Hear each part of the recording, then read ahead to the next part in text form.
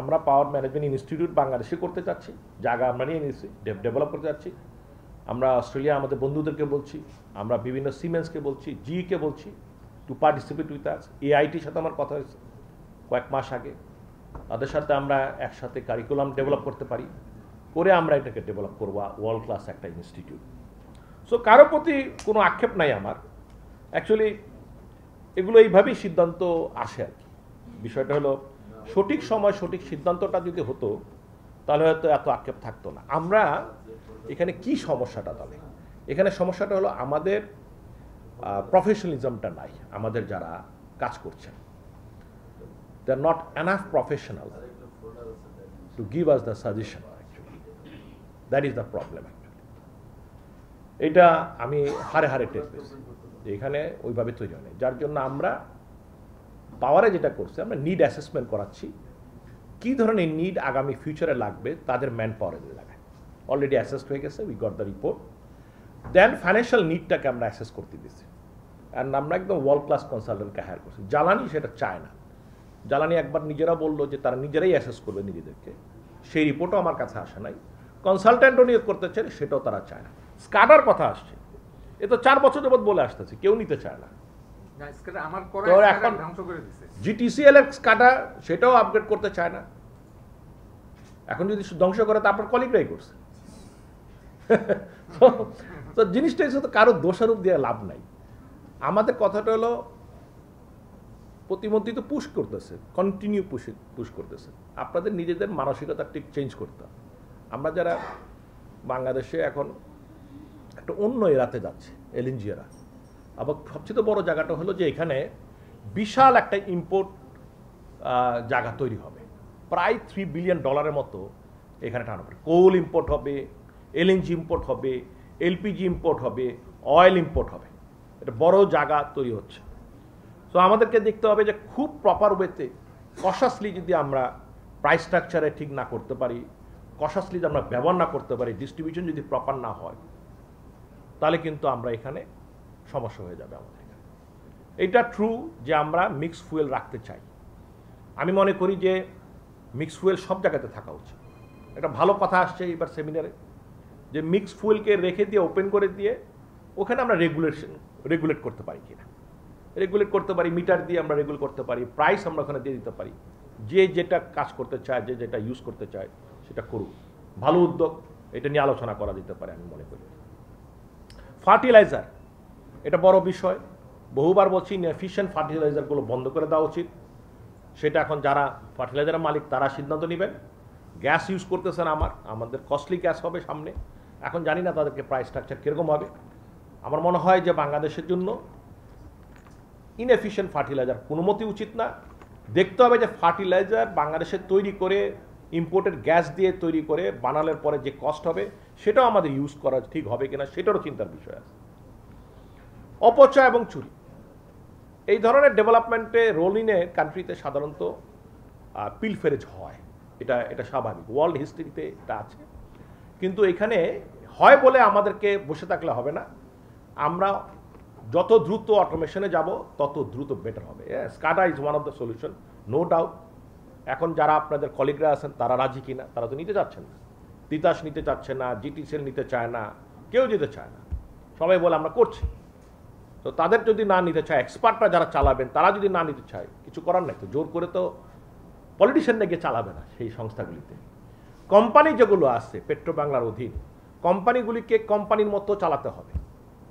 তাদের company rules is different নিয়োগ নীতিমালা তাদের নিজেদের কর- করতে হবে। তারা যদি বলে যে, না, আমরা সরকারের মতো, সরকারের নীতিমালা অনুযায়ী চলবো, বেতন নিব সরকারের মতো, কিন্তু আমরা ডায়নামিক হতে চাই প্রাইভেট সেক্টরের মতো ইউ ক্যানট ডু দ্যাট এটা সম্ভব না। You have to be out of the box ওইভাবে চিন্তা করে কাজ করতে হবে। সেটা বিদ্যুতে সম্ভব হয়েছে, যার জন্য এত দ্রুত অ্যাচিভমেন্ট হয়েছে। জ্বালানিতে এখন বড় জায়গা তৈরি হচ্ছে। এসপিএম আসতেছে রিফাইনারি আসতেছে ওয়ার্ল্ড ক্লাস রিফাইনারি আসবে ভবিষ্যতে। আমাদের এই যে পাইপলাইনগুলি তৈরি আসছে, এগুলির maintenance SPM maintenance it's a huge thing ডিপসির থেকে তেল নিয়ে আসা, এটা ইউজ থিং এখানে কথা আসছে ইনএফিশিয়েন্ট পাওয়ার প্ল্যান্ট আমরা শুরু করে দিচ্ছি ইনএফিশিয়েন্ট পাওয়ার প্ল্যান্টগুলো অলরেডি রিটায়ারমেন্টে যাওয়ার। আমাদের একটা মাঝখানে গ্যাপ আছে। এই যে coal long term plan mid term plan এই কয়লা এবং এলএনজি ব্যাপারে একটা গ্যাপ তৈরি হয়ে গেছে, যেহেতু সময় মতো তারা আসে নাই। যার কারণে কিন্তু ইলেকট্রিসিটি তো নিতে হবে, দিতে হবে। অন্ধকারে থাকলে তো চলবে না। যার কারণে আমরা শর্ট টার্ম প্ল্যানে যেটা আমাদের সলিউশন ছিল লিকুইড ফুয়েল সেগুলিকে আমরা একটু পরিধিটা বাড়িয়েছি। এইটা না যে এগুলি আমরা কন্টিনিউ রাখব নট দ্যাট আমরা এটাকে টেন পার্সেন্টে নিয়ে আসব। অর্থাৎ এখন যদি থার্টি ফাইভের মতো আসে আমাদের থার্টি সিক্সের মতো, এই লিকুইড ফুয়েল আগামীতে হয়তো within four years four to five years আমরা যেগুলো আছে, আমরা চেষ্টা করছি থার্টি থার্টির নিচে মানে একদম টেন পার্সেন্টের নিচে নিয়ে আসা। এটা হলো আমাদের টার্গেট যদি আমাদের বেস লোডগুলো চলে আসে, খুব দ্রুত। আমাদের হাতে এখন কয়লাগুলো শুরু হয়ে গেছে কনস্ট্রাকশন আমরা বড় আকারে এলএনজিতে যাচ্ছি তামিম ভাই অ্যাবসুলুটলি কারেক্ট প্রাইস স্ট্রাকচারে আমরা এটার আগেও দেখেছি যে LNG is faster you need less land for LNG solution and is a clean energy finance is available everywhere to set up this LNG. And technology is getting better and better every day. So why not LNGs? তো যার কারণে আমরা অন্য সব জায়গা থেকে আমরা LNG জায়গাটাকে বড় করেছি। এবং আরেকটা বিষয় আমরা তৈরি করছি সেটা রিজনাল পাওয়ার রিজনাল পাওয়ারের অ্যাক্টিভিটিসটা আমরা বড় করতে চাই আরও বড়োভাবে। যেটা আমাদের জন্য সুবিধা ক্যাপিটাল কস্ট দিতে হয় না আমাদের জায়গা নষ্ট হয় না বাট আমরা যদি নিয়ে আসতে পারি লাইন আমরা বিদ্যুৎ ব্যবহার করতে পারব। এইটা হলো আমাদের বড় বিষয়। তো এই জায়গাগুলোকে আমরা দেখছি যে আমাদের ভয়ের কিছু নাই। আগামী উইল বি বেটার সানশাইন তো আমি মনে করি যে আরও ভালো হবে। চ্যালেঞ্জ তো মোকাবেলা করতে হচ্ছে। সেখান থেকে আমাদের শিক্ষাও হচ্ছে। মাইট বি সে কস্টলি শিক্ষা হতে পারে। তারপরও still we are in the learning process এটা স্বাভাবিক। এই ধরনের গ্রোয়িং কান্ট্রি গ্রোয়িং ইকোনমিতে এটা স্বাভাবিক ব্যাপার। তো it will take time another three to four years আরেকটা বড় জিনিস আসছে ক্যাপটিভ পাওয়ার ক্যাপটিভ পাওয়ারকে আমরা দিতে চাই। যদি তারা এফিশিয়েন্ট হয়। তারা যদি কো জেনারেশনে যায়, আরও এফিশিয়েন্ট হয়। যেহেতু আমরা এখনও আনইন্টারাপ্টেড পাওয়ারের জায়গায় যেতে পারি নাই। আনইন্টারাপ্টেড পাওয়ার কিন্তু একটা বড় জায়গা বাংলাদেশে। কারণ হচ্ছে কি আনপ্ল্যানভাবে সিটি গ্রো করেছে। আনপ্ল্যানভাবে রুরাল এরিয়া গ্রো করেছে। এই আনপ্ল্যানভাবে ইন্ডাস্ট্রি গ্রো করেছে। ময়মনসিংহে যাওয়ার পথে দেখছেন ধান ক্ষেত ছিল দুই দিকে ইন্ডাস্ট্রি হয়ে গেছে। ভিতরে, বাইরে সব জায়গাতে। গিয়ে ইন্ডাস্ট্রি করে বলছে আমার গ্যাসের লাইন দেন পাইপ লাইন দেন বিদ্যুৎ দেন। একদম মশারির নেটের মতো চারিদিকে মাকড়সার নেটের মতো চারিদিকে ইন্ডাস্ট্রি ছড়ায় পড়ছে। এই transmission line distribution line very vulnerable হয়ে গেছে আমার। যার জন্য প্রতিদিন এক ঘণ্টা দুই ঘণ্টা করে বিদ্যুৎ চলে যায়। ইটস নট লোড শেডিং এটা ডিস্ট্রিবিউশন ট্রান্সমিশনের ক্যাপাসিটি বিল্ড আপটা নাই সে জায়গায়। এবং সম্ভাবনা আনপ্ল্যান্ডে যার জন্য মাননীয় প্রধানমন্ত্রী শেখ হাসিনা কী করেছেন? প্ল্যান্ড ওয়েতে ইন্ডাস্ট্রি জোন করে ফেলছেন একশো আটটা আমি অনুরোধ করব, এইভাবে যারা ডিস্টার্ব ফিল করতেছেন, এটা কিন্তু কন্টিনিউ করবে। একটা আরিবি তৈরি হয়েছে, একটা রুরাল এরিয়াতে ইলেকট্রিফিকেশন করার জন্য। এখন আরি আরিবি পারপাস সাফ করতেছে কমার্শিয়াল হিসাবে। ইন্ডাস্ট্রি জোনে তারা দিচ্ছে, এই যে গাজীপুর, আশুলিয়া, এইসব এলাকায়। এগুলো তাদের সিস্টেম অ্যালাউ করে না to give a higher rate of power so আমি মনে করি যে ইন্ডাস্ট্রিদেরকে ইন্ডাস্ট্রি জোনে যাওয়া উচিত। যত দ্রুত যাবে তত বেশি তারা নিরবিচ্ছিন্ন গ্যাস পাবেন নিরবিচ্ছিন্ন ইন্ডাস্ট্রি আমাদের অ্যাকচুয়ালি প্ল্যানিংয়ে যাওয়া উচিত। ছোট্ট দেশ হান্ড্রেড সিক্সটি মিলিয়ন পিপল খুব হিস সেগুলি নেওয়ার মতো। সমালোচনা থাকবেই। সেগুলো আমাদেরকে আরও কষাস হওয়ার জন্য তৈরি করছে। সমালোচনা আমরা নিতে চাই, শুনতে চাই।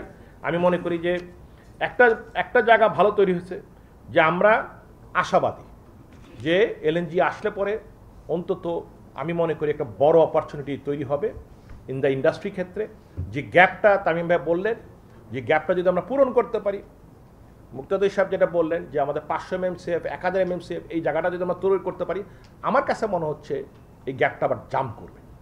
যখন এই পাঁচশো এম এম সিএফ সিস্টেমে ঢুকবে, তখনই আবার পাঁচশো এম এম সিএফের ডিমান্ড তৈরি হয়ে যাবে। আমাদের দেশের লোকজন আন্টারপ্রেনর কিছু হাতে পেলেই জড়ায় ধরে আরও বড় জিনিস করতে চায়। এই বিষয়টা কিন্তু রয়ে গেছে। আজকে যে গার্মেন্টস ইন্ডাস্ট্রি গ্যাসের অভাবে পরিকল্পনা করছে না ফিউচারে, তখন যদি সে আনইন্টারাপ্টেড এনার্জি পায় আনইন্টারাপ্টেড পাওয়ার পায়, তার পরের দিনই কিন্তু সে ডাবল ক্যাপাসিটিতে চলে যাবে। এই জিনিসটাও কিন্তু আমাদের ফিউচার প্ল্যানিংয়ের মধ্যে থাকা উচিত যেটা আমি মনে করি। তবে গিয়ে কোথায় থামবে, এটা একটা বড় বিষয়। ইকোনমিটা দিকে আমাদের একটা কতটুকু আমরা যাব এগুলো একটা বিষয়। তো আমার মনে হয় যে ভালো আলাপ হয়েছে। ধন্যবাদ আমাদের। সিএনজি থাকবে মার্কেটে। আমরা আশা করছি যে সিএনজি থাকতে পারে এলপিজি থাকবে। কাউকে আমরা প্রেশার করতেছি না যে এলপিজিতে যেতেই হবে। আমরা মনে করি যে এলপিজি থাকবে সিএনজি থাকবে গ্যাস থাকবে নর্মাল গ্যাস। আমরা তেলও থাকবে। গাড়ির জন্য তেলও থাকবে। ভবিষ্যতে ইলেকট্রিক ভেহিকল আমি চালু করতে যাচ্ছি। অলরেডি আমরা পলিসি তৈরি করতে দিয়েছি আমার মিনিস্ট্রিতে আমরা একশো ইলেকট্রিক চার্জিং স্টেশন ঢাকার আউটস্কেটসে বসানোর জন্য আমরা করতে পারি কিনা একটা পাইলট প্রজেক্ট আমরা নিতে যাচ্ছি। ঢাকার বাইরে অনেক থ্রি হুইলার আছে, যেগুলো ব্যাটারি ইউজ হয়। আমি বহু জায়গায় দেখলাম, আমরা মনে করি these are clean vehicles clean energy vehicles why not এগুলিকে এনকারেজ করা। ব্যাটারি চার্জ কীভাবে করা যেতে পারে, সেটা ইলেকট্রিসিটি করে, সেটার স্টেশন কীভাবে করা যেতে পারে সেখান থেকে প্রাইভেট সেক্টর কি আর্নিং করতে পারে সেটার একটা পরিকল্পনা চলছে।